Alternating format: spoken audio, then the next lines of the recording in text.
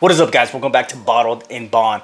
I'm Ozzy and today we have another one straight from Texas. Yeah, so today we're actually gonna head over to Texas and we're gonna head over to the Balcones Distillery in Texas and we're gonna check out their rye, 100% rye whiskey. Bam! So this is the Balcones Texas Rye, 100 proof pot distilled, 100% rye whiskey from the uh, Balcones Distilling Company in Waco, Texas. This bottle is non-chill filtered.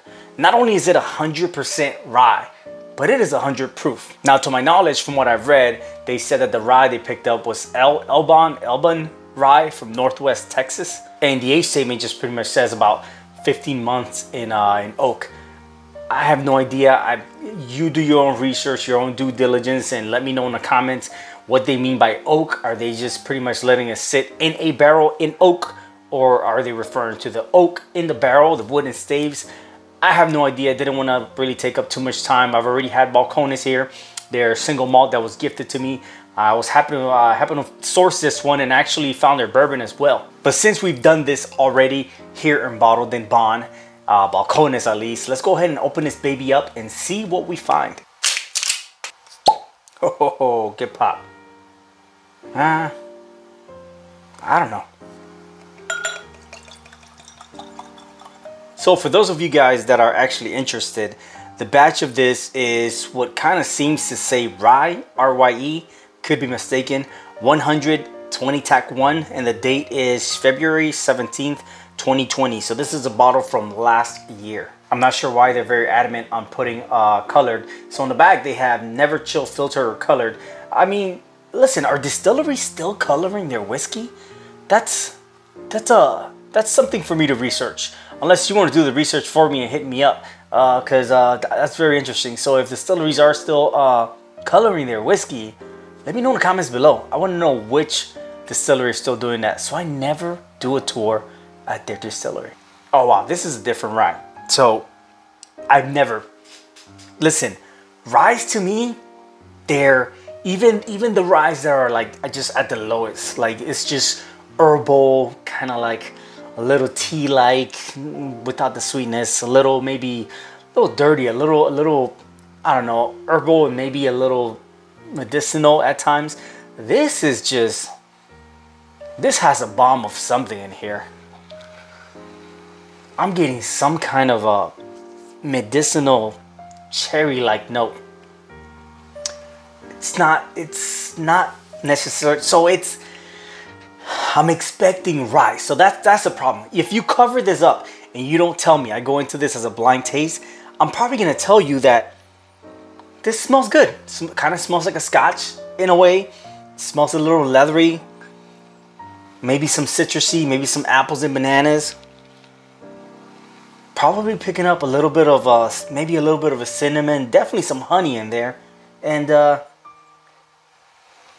hmm, cherries, you know. But when I when when you show me this, when you say, "Hey, this is a rye, hundred percent rye, and hundred proof," and I go to smell this baby, that ain't no damn rye.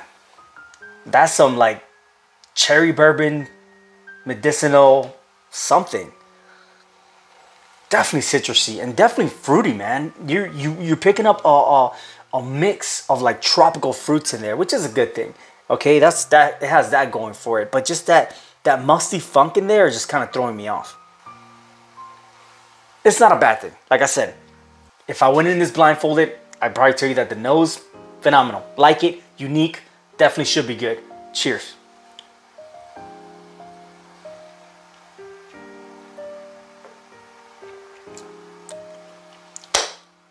Hmm. Interesting. A little bit of a funky. Mid palate towards the end. And a little bit of a coffee. Wow. Just a, a caramel. Man, a toffee. Towards the back back end. And it kind of lingers. Like a toffee note.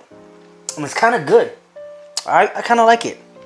But yeah, going in, right, initially, you get a little bit of a a caramel. You get a little bit of uh, sweetness, maybe uh, some honey, some honeydew indeed some honeydew, a little bit of a butterscotch. You're picking up some apples. You're picking up some cherries here and there.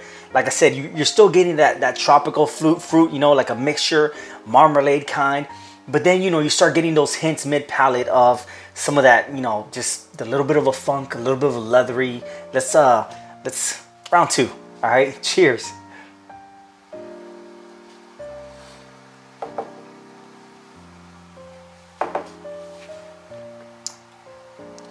Oh yeah. There was that toffee towards the end, man. A little coffee-like candy toffee note towards the end. I, I, like, I definitely like the finish on this. Definitely like it. It's phenomenal. The fact that you can come in uh, honey forward with some kind of a jelly-like marmalade, citrusy, uh, apple-like.